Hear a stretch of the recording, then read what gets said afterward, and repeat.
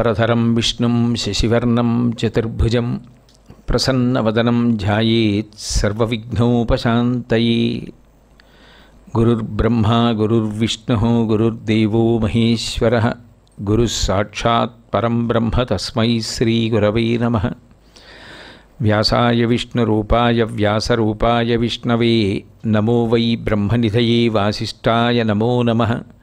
कूजन्तं राम रामीति मधुरं मधुराक्षरम् आरुह्य कविताशाखां वंदे वाल्मीकिकोकिलं श्रुतिस्मृतिपुराणानाम् आलयं करुणालयं नमामि भगवत्पादशङ्करं लोकशङ्करं वागर्धाविव सम्पृक्तौ वागर्धप्रतिपत्तये जगतः पितरौ वंदे पार्वतीपरमेश्वरौ। सूक्ति समग्रेतुन स्वयमेव लक्ष्मी श्रीरंगराजमहिषी मधुरै कटाक्ष वैदग्ध्यवर्णगुणगुंभनगौरवैर्यां कण्डूलकर्णकुहरा कवयोधयन्ति। हैमोध्वपुण्ड्रमजहन्मकुटं सुनासं मन्दस्मितं मकरकुण्डलचारुगण्डं। बिम्बाधरं बहुलदीर्घकृपाकटाक्षं श्रीवेङ्कटेशमुखमात्मनिसन्निधत्ताम्।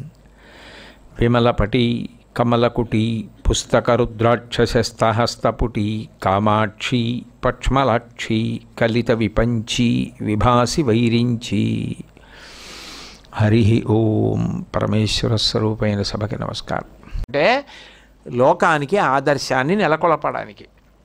కాబట్టి అంత గొప్పవారు. అంత గొప్పవారు కనుకనే సారహృదయాయ నమ.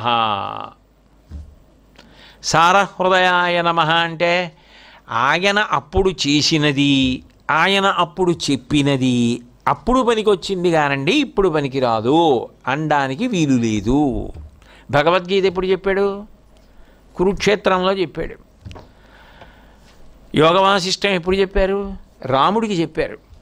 మరి ఇప్పటికీ అవి అన్నీ అన్వయం అవుతున్నాయా లేదా? ధర్మానికి ప్రమాణాలుగా నిలబడ్డాయా లేదా? వేదాంత పంచరిషి ఎప్పుడు చెప్పింది?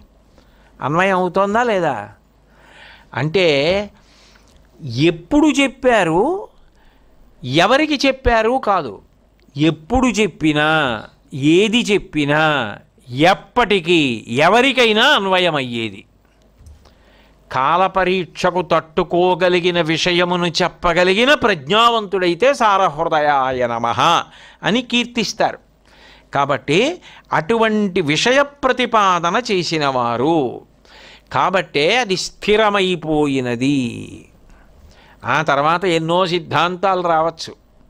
ఎన్ని సిద్ధాంతాలు వచ్చినా ఆయన అద్వైతం చెప్పారు. అద్వైత సిద్ధాంతం శంకరాచార్యుల వారు చెప్పిన తరువాత అనేక సిద్ధాంతాలు వచ్చాయి. అద్వైతం పోయిందా? అలాగే ఉంది అద్వైతం. అద్వైతం సత్యం అద్వైతం సత్యం అద్వైతం సత్యం అని సాక్షాత్ పరమశివుడే మధ్యార్జునంలో శివలింగంలోంచి పైకొచ్చి చెప్పాడు అంటే ఆ సిద్ధాంతం అలాగే నిలబడిపోయింది అంటే కాలపరీక్షకు తట్టుకున్న విషయ ప్రతిపాదన చేసినవారు అట్లాగే ఆయన ఎప్పటికీ అలా నిలబడగలిగినది మొదట ఈశ్వరుడు ఇచ్చాడు అది వేదం. ఆ వేదము యొక్క ప్రమాణమును నిలబెట్టారు. వేదానుగుణంగా కర్మ చేయడాన్ని ప్రోత్సహించారు. భక్తికి పెద్దపీట వేశారు.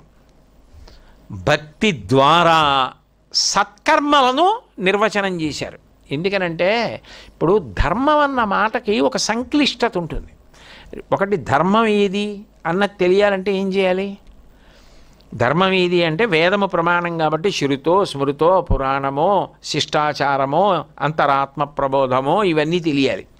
భక్తి ఎందు అది రెండంచులు కలిగిన కత్తి అది భక్తి ఏం చేస్తుంది అంటే అసలు తప్పు చేయనివ్వదు. ఎందుకు చేయనివ్వదు? అంటే ఆయన ఉన్నాడని ఒక నమ్మకాన్ని కల్పిస్తుంది. భగవంతుడు ఉన్నాడు. ఆ నమ్మకం ఉంటే కదా భక్తి అంటారు? ఆ నమ్మకం ఉన్నది. ఒకటి. నమ్మకం ఉన్నవాడు ఏం చేస్తాడు? ముందు ఆయనకి నమస్కారం చేయడం మొదలెడతాడు. తర్వాత క్రమక్రమంగా క్రమక్రమంగా ఏం చేస్తాడు? పూజా మందిరంలో వెళ్ళి ఏదో ధూపం వేయడం దీపం పెట్టడం కొబ్బరికాయ కొట్టడం కొబ్బరి కోరడం నైవేద్యం పెట్టడం అది కాదు. ఆయన సంతోషించాలంటే ఆయన చెప్పినట్లు బ్రతకాలంటాడు. అప్పుడు ఆయన జీవితం ఏమైంది? ప్రసాదమైంది. అందుకే జీవితమంతా ప్రసాదముగా బ్రతకాలి. భగవంతుడు చెప్పినట్టే మా బిడ్డ బ్రతకాలని కోరుకుని పిల్లలు పుట్టినప్పుడు ప్రసాదరావు ప్రసాదు ప్రసాద బాబు ఇట్లా పేర్లు ఎందుకు పెడతారు? అంటే ఆయనే ప్రసాదము. ఈశ్వరుడు మాకు బిడ్డగా ఇచ్చినాడు. ఆయన ఈశ్వర ప్రసాదముగుగాక. అట్లాగే బ్రతుకుగాక అంటే ఈశ్వరుడు ఎట్లా చెప్పాడో అట్లాగే బ్రతుకుతాడు. ఎందుకు బ్రతుకుతాడు? అంటే ఇంకొకలా బతికితే ఏరా నీ చెప్పినట్టు ఎందుకు చేయలేదురా? అని అడిగితే నేనేం చెప్పాలి? వద్దు నేను ఆయనకి జవాబు చెప్పలేను. అప్పుడు నేను ఆయన ముందు తలంచుకోవడం నాకు ఇబ్బందిగా ఉంటుంది. అంటే ఆయన దగ్గరికి వెళ్ళి నేను ఈ తప్పు చేశాను అని అస్తమానం చెప్పడము ఇబ్బందే. చెప్పకుండా ఉండడానికి ఆయన తెలియకుండా ఉండదు. అన్నీ తెలిసిన వాడి దగ్గరికి వెళ్ళి ఆయనకి తెలియదన్నట్టు నేను నటించి పూజ చేయలేను.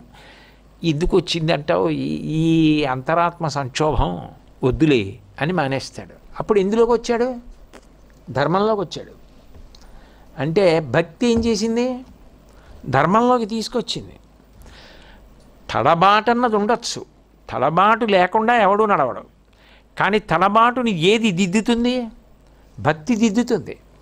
అందుకని వేద ధర్మాన్ని నిలబెట్టడం అంటే దేన్ని కూడా నిలబెట్టాలి? భక్తిని కూడా నిలబెట్టాలి. భక్తిని కూడా నిలబెట్టాలి అంటే భగవంతుడు ఉన్నాడని నమ్మకం కలిగే రీతిలో శంకరాచార్యుల వారు ప్రబోధం చేయాలి.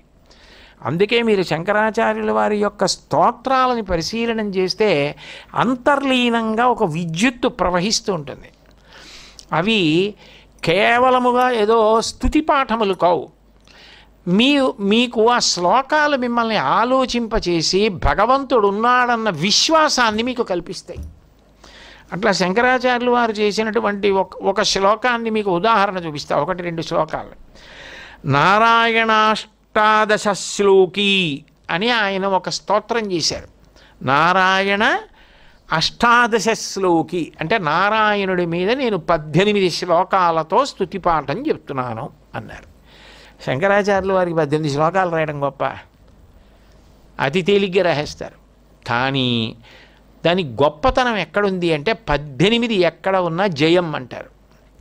అందుకే భగవద్గీతకు పద్దెనిమిది అధ్యాయాలు పద్దెనిమిది పర్వాలు పద్దెనిమిది ఎక్కడున్నా జయం అంటారు. అక్షరాల్లోకి మార్చినప్పుడు. ఇది చదువుకుంటే నీకు జయం కలుగుతుంది. జయం దేనివల్ల కలుగుతుంది? యతో ధర్మస్తతో జయ. నీకు ధర్మ మార్గం అలవాటు అవుతుంది. ఆయన ఉన్నాడన్న పూనిక కలగడానికి నేను నీకు ఇది ఇస్తున్నాను అని ఇచ్చారు. ఆ ఇవ్వడంలో ఆయన శ్లోక ఒక శ్లోకంలో అంటారు ప్రహ్లాద అంటే ప్రహ్లాదుడు హిరణ్యకశిపుడు మాట్లాడుకుంటున్నట్టు రాశారు శ్లోకాన్ని. ప్రహ్లాద ప్రభురస్తి చేత్తవ హరి సర్వత్ర దర్శయ స్తంభే చైనమితి బ్రువంతమసురం తత్రా విరాసీధరి వక్షస్తస్య విదారయన్ నిజనకై వాత్సల్యమావేదయ. ఆర్తత్రాణపరాయణ స భగవాన్ నారాయణో మే గతి అన్నారు. ఆర్తత్రాణపరాయణుడవైన నారాయణ నువ్వు నాకు గతి. అంటే నిన్ను నేను పొందవలసి ఉంటుంది. అని దానికి కారణం చెప్పారు ఆయన.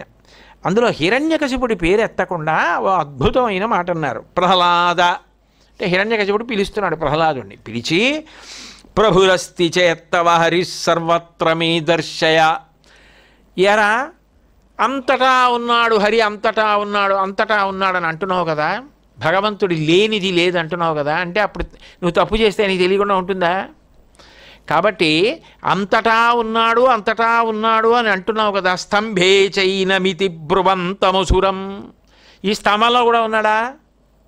అని అసురం రాక్షసుడు అడిగితే నువ్వు దయవహించావు ఎవరి మీద? ఎవరి మీద దయవహించాడు భక్తుల మీద. ఎవరు భక్తులు? ఒకవైపు ప్రహ్లాదుడు ఒకవైపు బ్రహ్మగారు. ఇన్ని వరాలు ఇచ్చినా పర్వాలేదులే అని ఎవరంట చూసుకు ఇచ్చాడు బ్రహ్మగారు? ఈయనంట చూసుకొని. లేకపోతే ఇన్ని ఇచ్చేశాను తర్వాత ఏమైపోతుందో వాడు నా పదవి కూడా కబలించేస్తాడన్న భయం ఉంటే ఇవ్వగలడా? ఆయన ఉన్నారులే పెద్ద ఆయన. ఆయన చూసుకుంటారు వీడికి ఎన్ని వరాలు ఇస్తే మాత్రం దారి తప్పితే నేను చెప్పడం చెప్తాను రే సరిగ్గా ఉండు ఇంత శక్తిని ఇచ్చానని చెప్తా. వాడు వినకపోతే పెద్ద ఆయన చూసుకుంటారు. ప్రహ్లాదుడికి నమ్మకం ఏమిటి? అంతటా ఉన్నాడు ఉన్నాడు ఉన్నాడని అంటున్నావు కదా ఉన్నాడన్నవాడు ఈ స్తంభంలో ఉన్నాడా? అంటే ఉన్నాడు. అనాలంటే అంతటా ఉన్నవాడిని ఈ చర్చు ఎలా చూస్తుంది? చూడదు కదా. అంటే అప్పుడు ప్రహ్లాదుడికి దేని మీద నమ్మకం? గురువాక్యం మీద నమ్మకం. కడుపులో ఉండగా అమ్మ కడుపులో నారదుడు చెప్పిన మాటలు విన్నాడు. శాస్త్రం మీద నమ్మకం. అది ఉన్నవాడు భక్తుడు. అవతల ఆయన వరాలు ఇచ్చాడు. గాలిని కుంభిని అగ్ని అంబువల ఆకాశస్థలిన్ దిక్కులన్ రేలన్ ఘస్రమలన్ తమప్రబల భూరిగ్రాహ రక్షో మృగ వ్యాళాదిత్య నరాది జంతు కలహవ్యాప్తిన్ సమస్త్రాస్త్ర శస్త్రాలిన్ మృత్యువులేని జీవనము లోకాధీశ ఇప్పించవే అన్నాడు హిరణ్యకశిపుడు ఇన్ని ఎంతమంది లిస్ట్ అడిగాడు? ఇంట్లో కాదు బయట కాదు కింద కాదు మీద కాదు గాలిలో కాదు నిప్పులో కాదు నీళ్ళలో కాదు ఆకాశంలో కాదు వాయువులో కాదు ప్రాణం అన్నది కాదు ప్రాణం లేనిది కాదు మృ మృగం కాదు నరుడు కాదు దేవత కాడు యక్షుడు కాడు సర్పం కాదు అస్త్రం కాదు శస్త్రం కాదు వాటితో నేను మరణించకుండా వరమి అన్నాడు. అబ్బాయి ఇంతకుముందు ఎవరు అడగలేదు నేను ఇవ్వలేదు నీకు ఇస్తున్నాను కానీ ఇంత శక్తి వచ్చింది జాగ్రత్తగా ఉండు అని ఇచ్చాడు. ఉన్నాడా? ఉండకపోతే విష్ణుమూర్తి చూసుకుంటారు అది ప్ర బ్రహ్మగారి నమ్మకం. ప్రహ్లాదుడు అంతటా ఉన్నవాడు స్తంభంలో ఉన్నాడా అంటే? ఉన్నాడని చెప్పాలంటే ఎవరి మీద నమ్మకం? ఆయన మీద నమ్మకం. ఇద్దరు భక్తులు కనపడకుండా చెప్పడం శంకరాచార్యుల వారి ప్రజ్ఞ.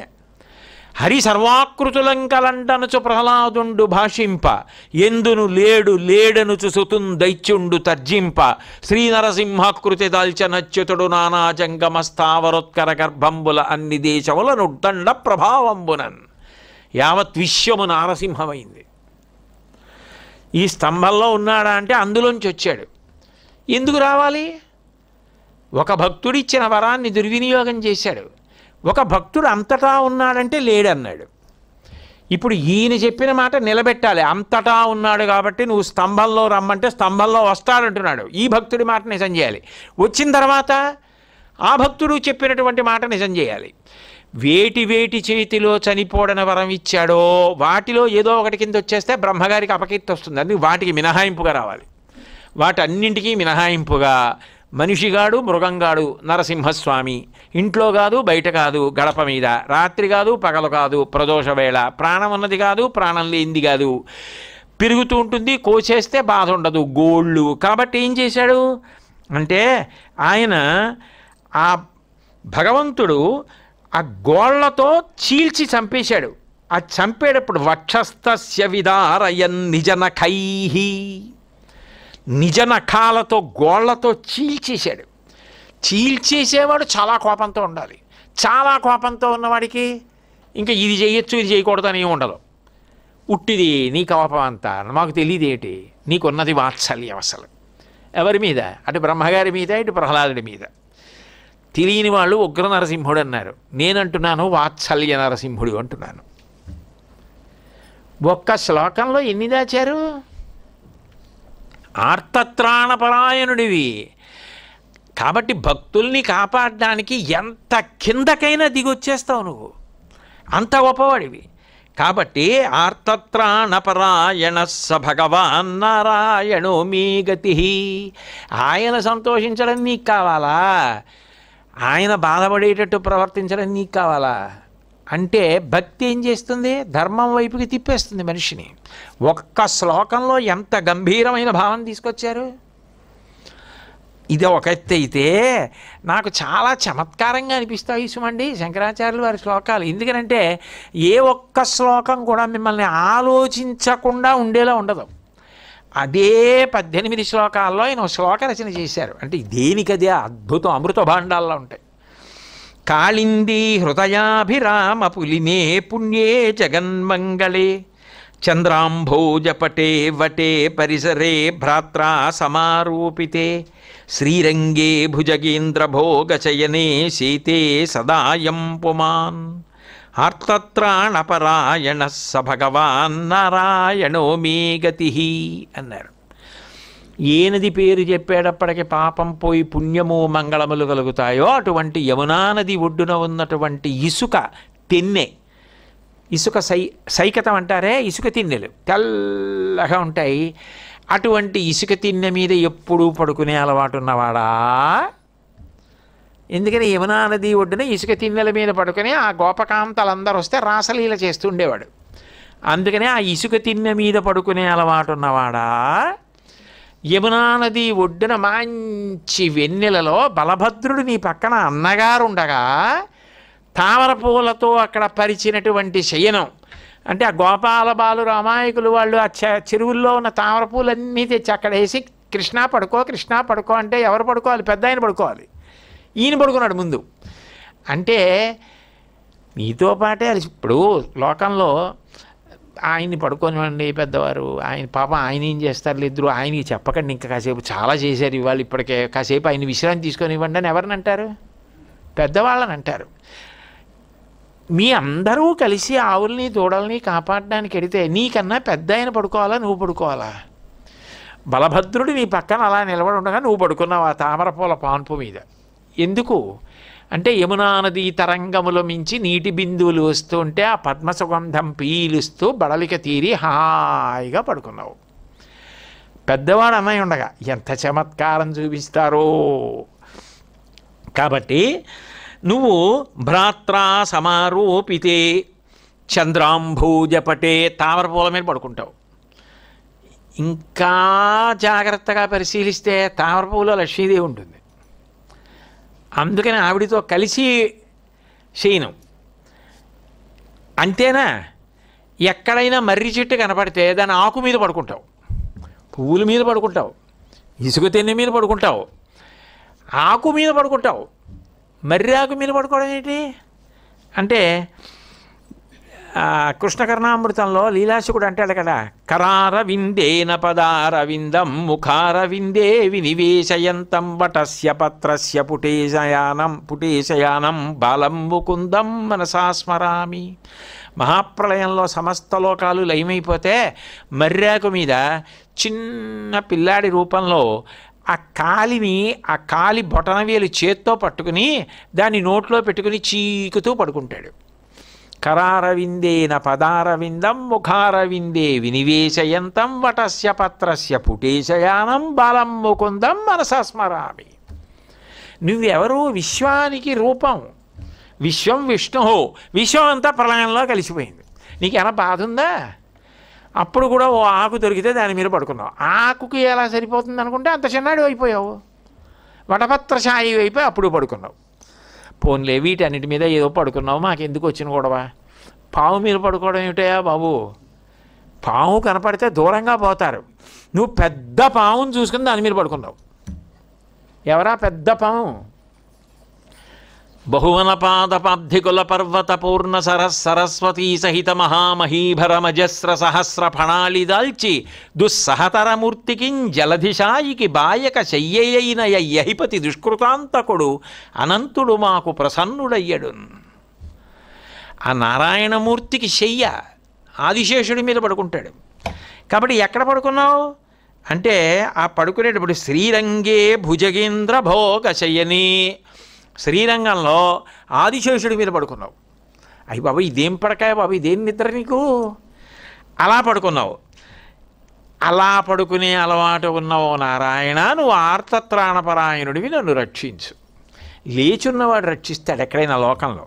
ఇప్పుడు ఆయన లేచి ఉన్నాడు అనుకోండి మనం పిలిస్తే వెంటనే పలుకుతాడు. గట్టిగా కూడా పిలవక్కర్లేదు. లేచి ఉన్నవాడిని వెంటనే పిలిస్తే పలుకుతాడు. ఏది కనపడితే దాని మీద పడుకునే అలవాటు ఉన్నవాడంటే ఆయన మామూలుగా కూడా ఎప్పుడు ఎలా జోగుదామా అని చూస్తూ ఉంటాడు. ఎలా నిద్రపోదామా అని చూస్తూ ఉంటాడు. కదా? అలా నిద్రపోదామని అలవాటు ఉన్నవాడు నిద్రపోకపోయినా మత్తుగా ఉంటాడు. ఆ మత్తుగా ఉన్నవాడు పలకడవు. ఆకు మీద పడుకుంటావు పూల మీద పడుకుంటావు నది ఒడ్డున ఇసుక తిని మీద పడుకుంటావు మర్రాకు మీద పడుకుంటావు పాము మీద పడుకుంటావు ఇంత పడుకునేవాడా? నన్ను కాపాడు. ఏమిటా శ్లోకం?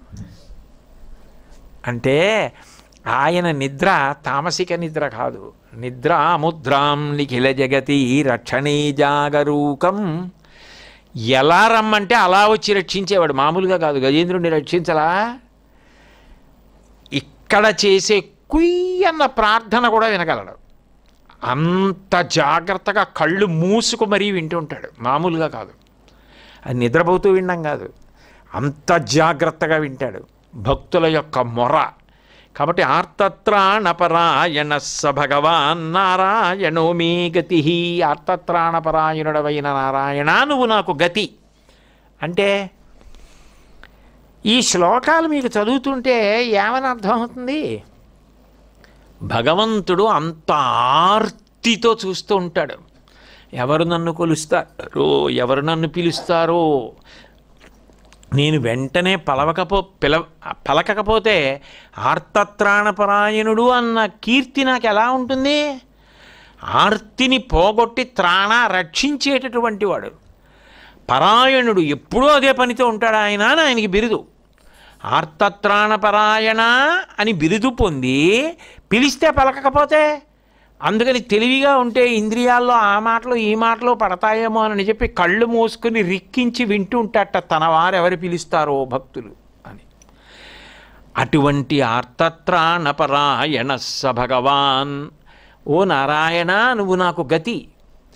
ఇప్పుడు ఎంత నమ్మకం ఏర్పడుతుంది భగవంతుడి మీద ఒక్కొక్క శ్లోకం. అన్నీ స్థుతి పాఠాలు రాయరు.